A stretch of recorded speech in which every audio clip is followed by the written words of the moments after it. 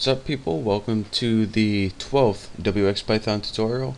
And this one's going to be real quick so don't fall asleep or you might miss it. Um, in this tutorial I'm going to show you guys how to build a checkbox. And you know every one of you probably knows what a checkbox is so I'm not going to have to explain it to you. But I am going to show you how to do it. And it's really easy and really simple. All you need to do is put WX in checkbox uh, the thing you need to watch out for probably is make sure the C and B are capitalized. And then you go ahead and write your parent, which is panel, in this case, and I have 1 for ID, and then you write what you want the value to be on that checkbox. So say we're building like, um, uh, let's build a grocery list where there's a bunch of items and you can click the ones you want. An online grocery store. How do you like that? Apples. How would you like getting apples sent through the mail? Not too good. Um, so after you put your item name, you go ahead and put the positioning. So I'm going to put mine in like 2020 or something like that. And then you go ahead and put the size in another tuple. And I'm going to put my 160 by negative 1 for default height.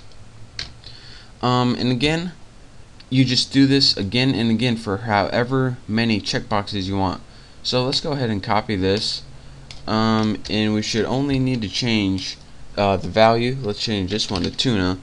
And of course we need to change the positioning of it so they don't overlap each other.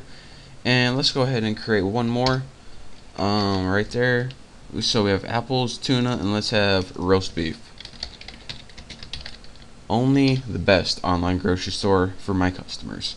So 2040 we'll put this one at 2060 so they'll go from top down and let me show you guys how this works. Run run module save this bad boy. Hopefully I don't get any errors. And move this out of the way.